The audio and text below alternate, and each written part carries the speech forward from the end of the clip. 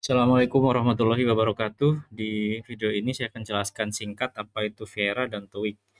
Uh, jadi nanti untuk kelas 10 dan kelas 11 semuanya wajib mengerjakan tes Viera.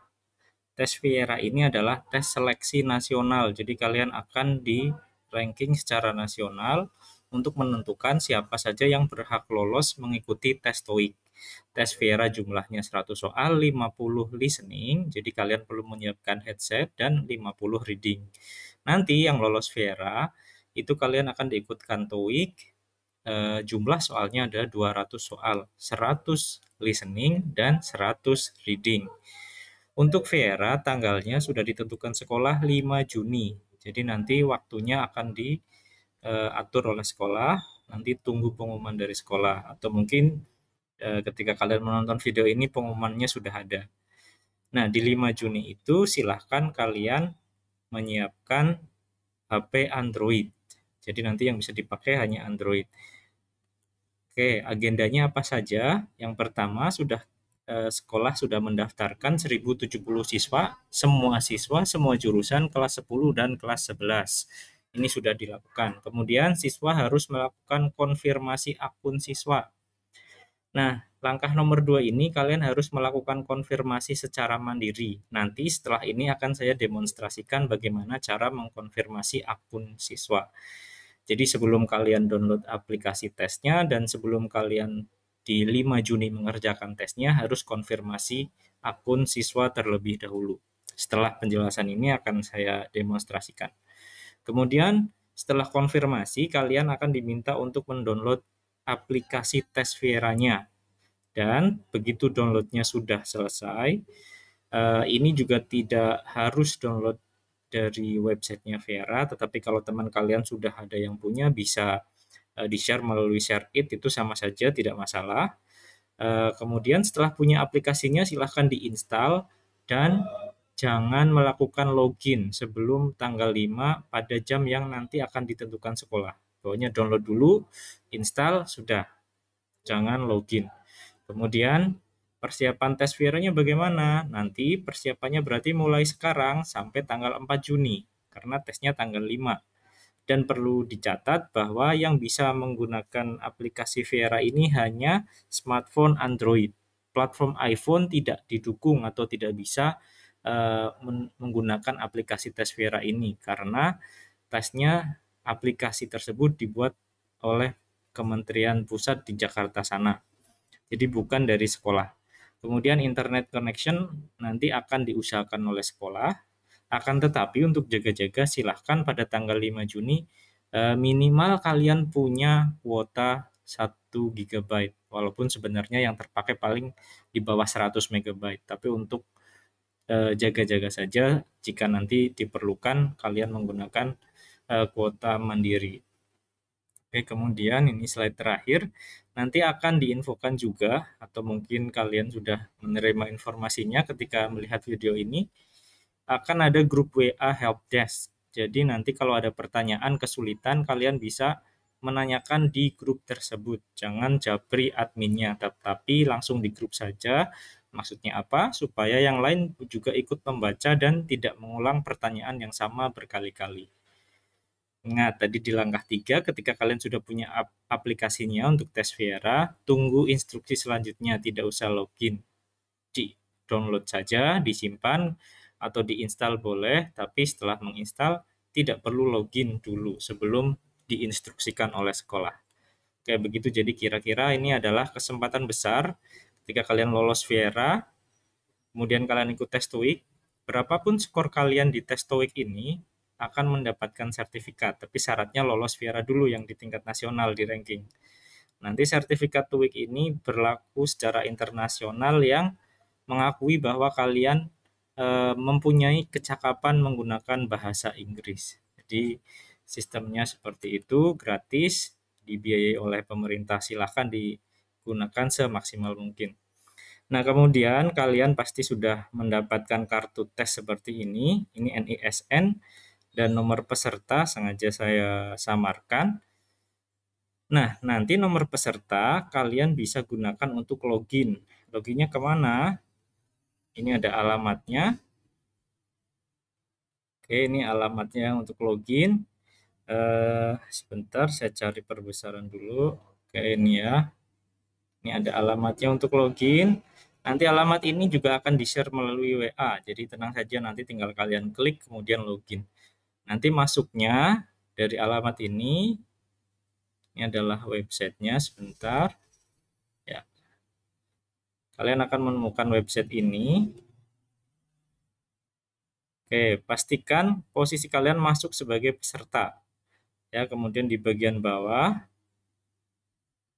Nah, nanti kalian mengisi nomor peserta untuk login, nomor peserta dan nomor unik sekolah.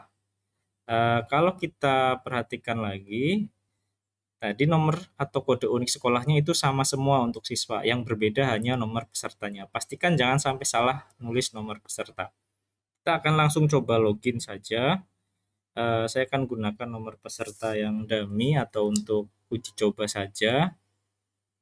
Kemudian kode uniknya kita coba masukkan.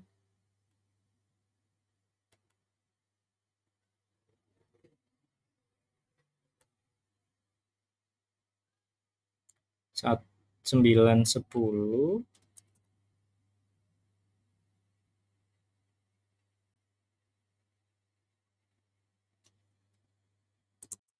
mohon maaf ada sedikit kendala tadi. 910 nomor unik sekolahnya ya. 910 14 528 ini sama untuk seluruh siswa nomor uniknya yang membedakan hanya nomor pesertanya saja. Ya pastikan kalian jangan salah memasukkan nomor peserta. Nanti kalian akan login ke akunnya orang lain. Oke setelah itu kalian bisa klik masuk di sini. Bagian bawah masuk ke login ya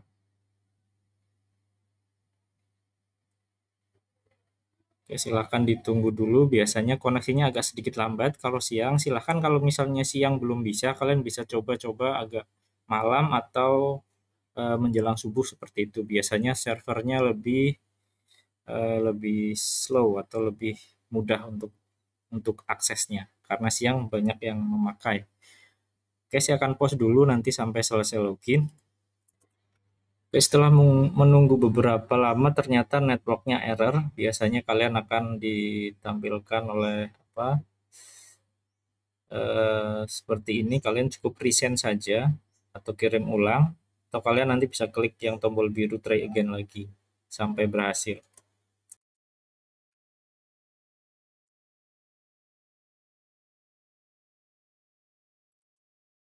setelah berhasil login nanti kalian akan ada tombol OK ya. Setelah di OK nanti kalian akan menemukan halaman ini. Ini nama sekolah dan NPSN sudah otomatis. Kalian tinggal klik next saja. Eh, baik setelah berhasil di next tadi ya kalian akan menemukan eh, halaman identitas diri kalian. Dicek lagi.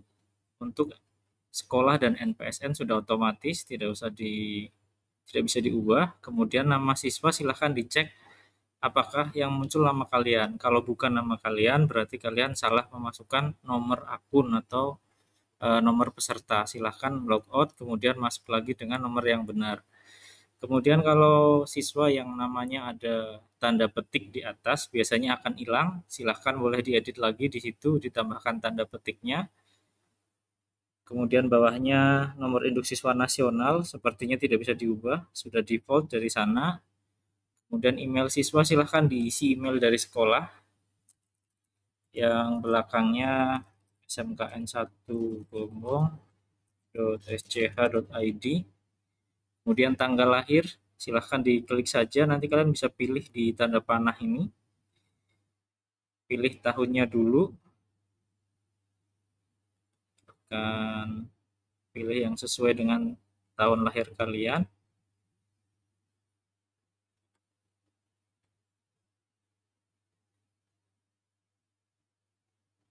Misalnya saya pilih 2003, bulannya dipilih saja di sampingnya.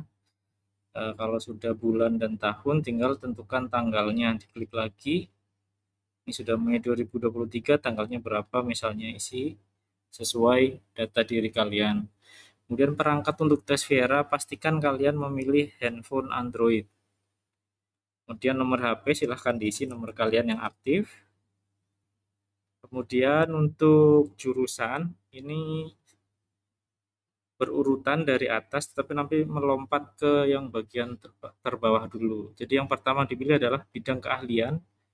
Untuk TP dan e, jurusan TKR, termasuk TBSM itu nanti pilihnya bidang keahlian teknologi dan rekayasa. Lalu nanti program keahliannya kalau untuk TP nanti pilih teknik mesin. Kalau untuk eh, TKR dan TBSM pilihnya nanti teknik otomotif. Kita coba dulu teknik mesin. Nah yang terakhir diisi yang tengah ini kompetensi keahlian. Itu kalian isi teknik pemesinan bagi yang TP Oke, sekarang kita coba program keahlian yang TKR dan TBSM. Pilihnya nanti yang program keahlian ini teknik otomotif. Kemudian kompetensi keahliannya kalian pilih antara TKR atau TBSM sesuai jurusan kalian. Nah, untuk yang multimedia dan TKJ, ini kalian harus ubah dari bidang keahlian dulu. Bidangnya pilih yang teknologi informasi dan komunikasi, Kemudian program keahliannya untuk TKJ dan MM itu pilih yang teknik komputer dan informatika. Nah, kompetensi keahliannya tinggal pilih. Kalau yang TKJ berarti teknik komputer jaringan, kalau yang multimedia atau yang kelas 10 DKV pilihnya yang multimedia. Pastikan lagi datanya sudah sesuai dari atas, terutama nama yang ada tanda petiknya ya. Kalau sudah tinggal di submit. Tunggu sampai selesai. Oke, mohon maaf tadi ada sedikit kendala. Nanti ketika kalian klik submit, diklik saja tunggu nanti sampai ada nah ini kalian bisa menemukan konfirmasi dari websitenya bahwa konfirmasi data diri berhasil silahkan diklik OK tunggu lagi. Nah, kalau kalian sudah menemukan pesan ini, data konfirmasi Anda sudah tersimpan berwarna hijau berarti proses konfirmasi data dirinya sudah selesai, sudah tercatat di website tersebut. Nah, sekarang kalian kalau ingin mendownload langsung aplikasinya ada di menu samping biasanya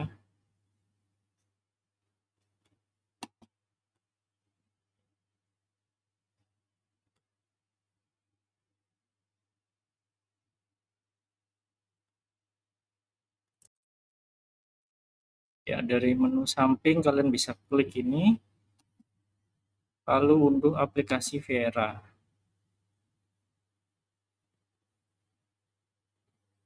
nah nanti di sini akan disediakan dua link. Pastikan kalian mengunduh untuk versi mobile Android OS atau yang link yang bagian bawah.